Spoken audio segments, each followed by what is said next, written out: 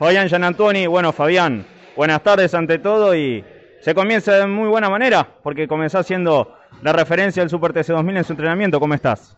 Sí, bueno, buenas tardes. Sí, hemos quedado con el entrenamiento, el único entrenamiento que tenemos en el día de hoy. Si bien la tanda fue atípica, eh, ya que el, grupo 1 fue con, este, con la pista un poco húmeda, pero nosotros, la tanda nuestra fue con piso seco y pudimos hacerlo más rápido, así que bueno, contento obviamente de, haber arrancado así. Este, me parece que tenemos un auto eh, muy rápido donde podemos aprovecharlo. Esperemos hacer una buena clasifica. Va a ser importante, obviamente, estar entre los 10 y aprovechar la no penalización para nosotros.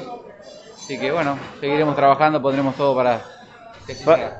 Fabián, ¿cómo viene siendo la mano que viene metiendo Luciano Monti en los autos? Porque se lo ve que prueba, que experimenta, que trabaja en desarrollos y poco a poco los autos se van mostrando mejor. Sí, obviamente que este, es importantísimo la incorporación de Luciano esta temporada en el equipo. Ha mostrado, si bien ya lo habíamos mostrado, pero ha mostrado una gran capacidad de poder eh, revertir una situación que para nosotros no era fácil.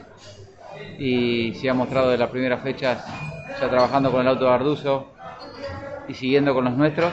Así que hoy por hoy estamos contando con, con un, con un buen arma para pelear de igual a igual con, con cualquiera de los equipos.